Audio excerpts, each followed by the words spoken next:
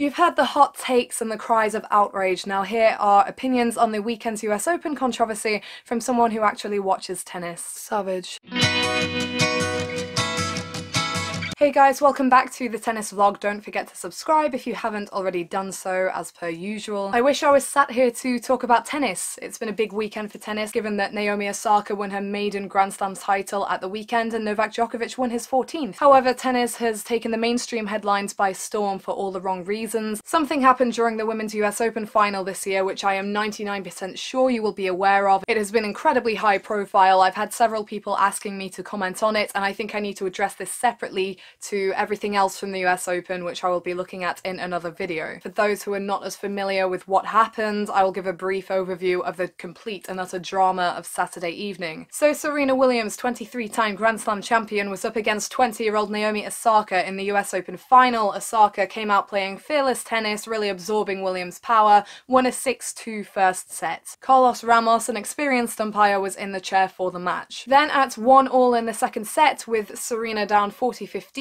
Ramos gave Serena a coaching violation, saying that Patrick Mouratoglou had been trying to coach her, which after the match Mouratoglou admitted that he had done. That was Serena's first offence of the match and resulted in a warning but nothing more. Later in the set, Osaka broke Serena for 3-2. Serena lost her cool and smashed her rackets, which resulted in a second warning, and because it was Serena's second offence, it resulted also in a point penalty. Serena went on to be broken again, trailed 4-3, and sat down at the changeover and began arguing yet again with Carlos Ramos. Towards the end of that argument, she called him a liar and a thief, and Ramos gave her a violation for verbal abuse. That was a third warning for Serena, her third offence, which resulted in a game penalty. This meant that rather than trailing 4-3, Serena was trailing 5-3 in that significant second set, and she went on to lose the match 6-2, 6-4 to Osaka. Emotions were riding high, she got the referee and a WTA supervisor onto court after that third warning. A lot of drama, a lot of controversy. I'm here to dissect it and give my personal opinions on what happened. So I've given you the brief overview picture of what happened, I'm now going to go into it in more detail. In a way, I don't know where to begin with this. There have been many criticisms of both Carlos Ramos and Serena Williams for what happened on Saturday night. People have criticised the way Ramos dealt with the situation, they've accused him of having an ego. People have criticised Serena for losing her cool and being disrespectful to Ramos,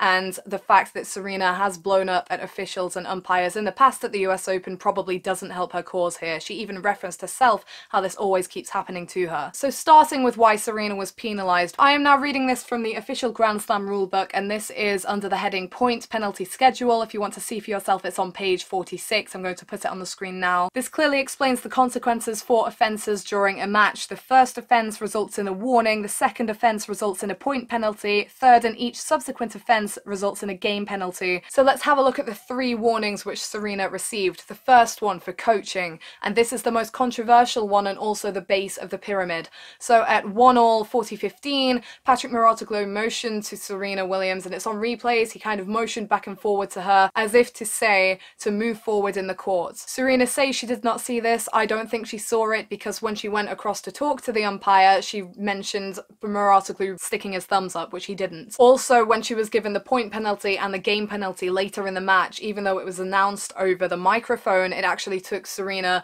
going onto the courts, getting ready to play, and hearing it announced again before she realised what was happening, which shows she was very focused on the match. This is the part where I really feel for Serena, because she did not ask to be coached by Mouratoglou, who subsequently admitted that he had been trying to coach her, and then tried to defend it, which was not the wisest thing to do in the whole story situation. Serena did not ask Mouratoglou to coach her, but he did it anyway. Ramos saw that, and therefore he gave Serena a coaching violation. The thing here for me is that I think Ramos should probably have given Serena a soft warning before actually stepping down and giving her a solid coaching violation. Firstly because Ramos didn't actually know Serena had seen Mouratoglou. Secondly because he even said to her he knew her character and he seemed to be agreeing with her that it wasn't in her nature to cheat and to use coaching. Even when the WTA use coaching throughout the year and are allowed to have coaching visits at changeovers, Serena and Venus by principle never use that. This is what everything else was built on. If Serena hadn't got this coaching warning, she wouldn't have had a point penalty for smashing smashing her racket, she wouldn't have had a game penalty for the verbal abuse later on. Serena kept using the word unfair, unfair, unfair,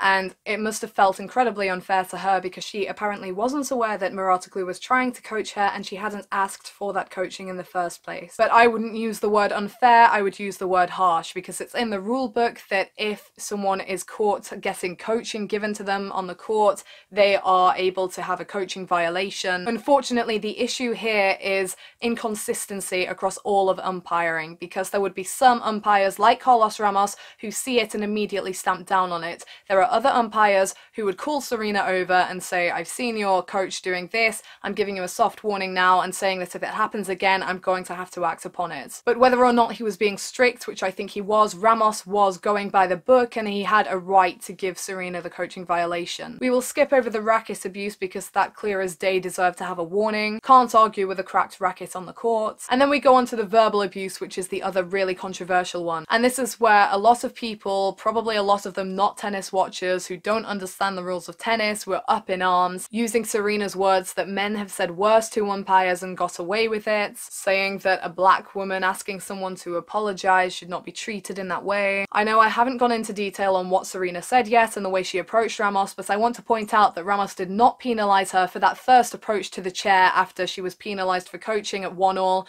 She did not get penalized for the words she said to him after she got a warning and a point penalty for racket abuse. He did not even penalize her when she told him to stop talking to her, when she told him that he would never ever be on a course of hers again. He did not even penalize her for telling him that he was a liar. Serena did a lot of talking to Ramos during which Ramos let her vent and did not penalize her. The one time when Ramos stepped down and gave her that warning for verbal abuse was when Serena called him a thief. Do I think he had a right to do that? Absolutely. Do I think he did it by the book? Yes, I do, because this is what the book says. We can see here under the heading verbal abuse, players shall not at any time directly or indirectly verbally abuse any official, opponent, etc., etc. And then down at the bottom, for the purposes of this rule, verbal abuse is defined as a statement about an official, opponent, sponsor, spectator, or other person that implies dishonesty or is derogatory, insulting, or otherwise abusive. Notice the word dishonesty there. I think that calling somebody a thief and calling somebody a liar implies that they are dishonest, and therefore Ramos was well within his rights to award Serena that penalty. Things then swing back to the first violation and whether she should have been given one for coaching, and I repeat, this is a grey area, and I repeat, the problem here is with inconsistency among umpires because some of them step straight down and some of them give soft warnings. So to sum up that section of my opinion, I think Ramos was within his rights to do what he did. I think he tried to do his job and tried to do it by the book. And actually the ITF have since come out in support of Ramos and basically said the same thing. Now to look at the ways Serena handled herself in the situation. I'm not excusing her behaviour. I'm not saying that the way she acted wasn't wrong because I don't think it was right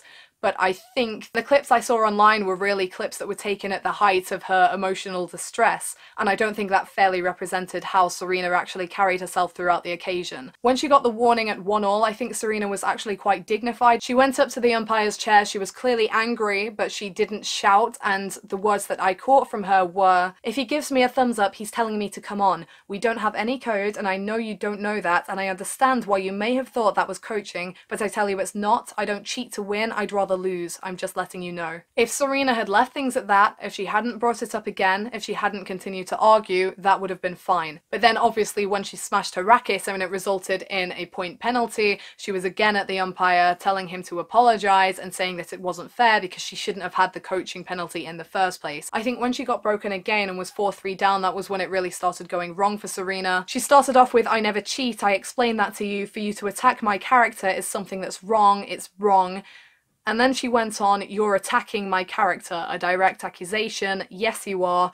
You owe me an apology. You will never, ever, ever be on another course of mine as long as you live. You are the liar. Then there was silence, and she carried on with, When are you going to give me my apology? You owe me an apology. Say it, say you're sorry. She kept asking for an apology, and when Ramos refused to give her one, Serena said, Well, then don't talk to me. And Ramos obliged. He nodded, he said okay, and he turned away. So even if things had stopped there, it would have been fine. But after telling him not to talk to her, Serena then carried on talking to him. So she's digging herself her own hole here. A few moments later, she continues with, How dare you insinuate that I was cheating? And it's even after Ramos has called time on the changeover that Serena comes out with, You stole a point from me, you're a thief too. Given that happened, I think Ramos was 100% within his rights to give her that violation. Serena shouted, of course, and was angry, but I think she was more tearful than anything when she went to get the referee and the WTA supervisor that came on. She was in tears, saying how it wasn't fair. She wasn't screaming, she was crying. I don't agree with the manner in which Serena spoke to Ramos when she ordered him not to speak to her, when she informed him he would never be on a court of hers again, or obviously when she called him a liar and a thief. However emotional and upset she was, that wasn't warranted. As far as egos go, I think Carlos Ramos had less of an ego trying to do his job than Serena Williams did, telling him he would never ever be on another court of hers again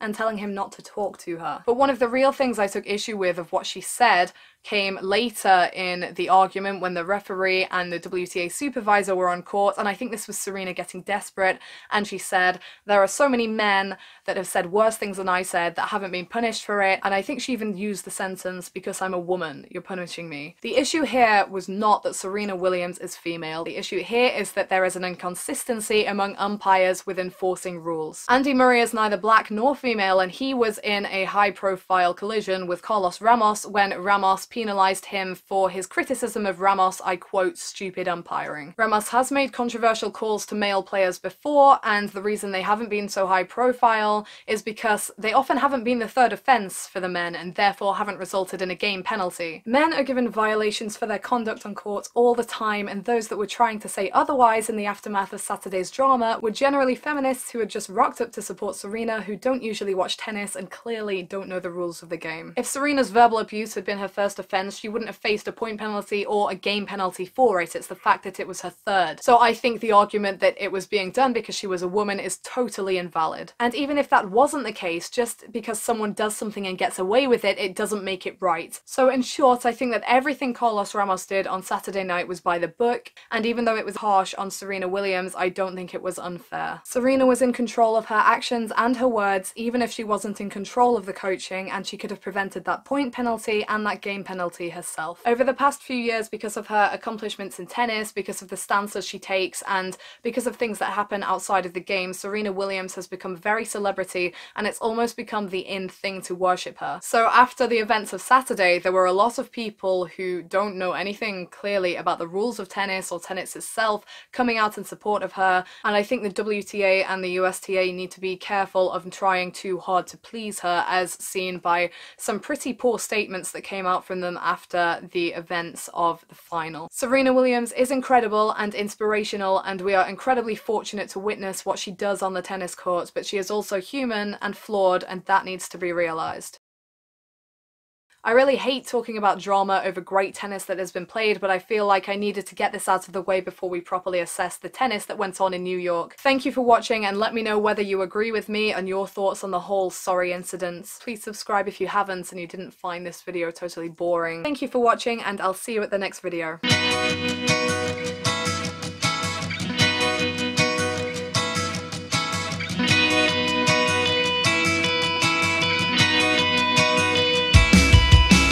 Glad to get that out of the way.